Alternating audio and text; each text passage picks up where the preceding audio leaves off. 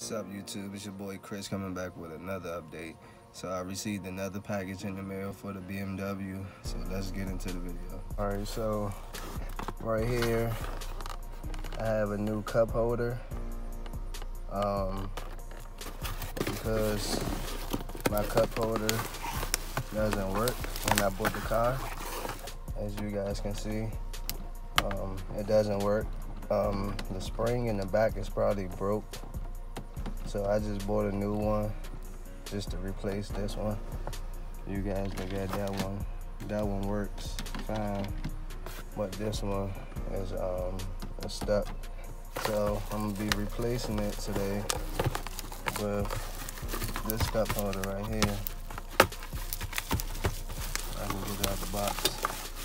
So I'm gonna be replacing it with this cup holder. All right, so this is the new cup holder that's gonna go in to replace that cup holder right there. All right, guys, so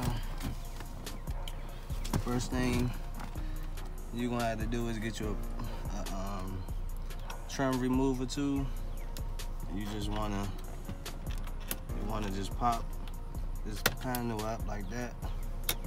So pop that up.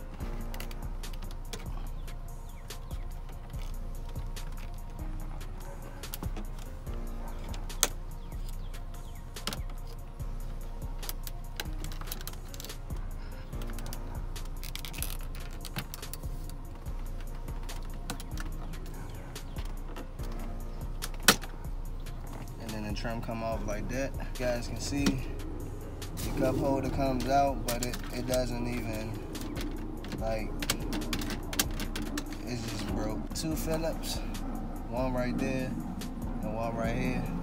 So we're just gonna remove those.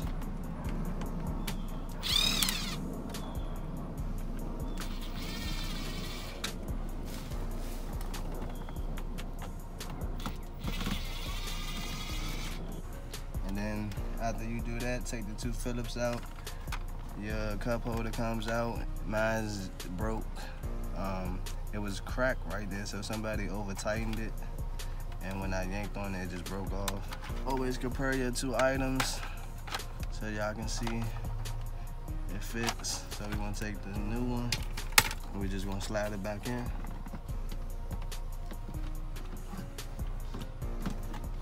Has a tab in the back, so make sure that tab line up or that notch and just put it in.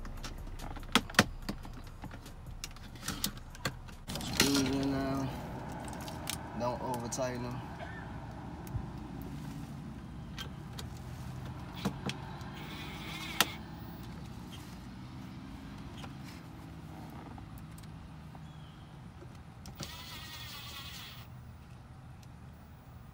We got the screws back in. Take our trim, and you got a clip right there with two two pins and then another clip. I think I got it upside down. Let's turn it that way and try it again.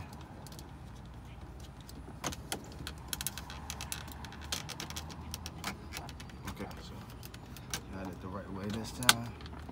And that just pops like that. And as y'all guys can see, cup holder works.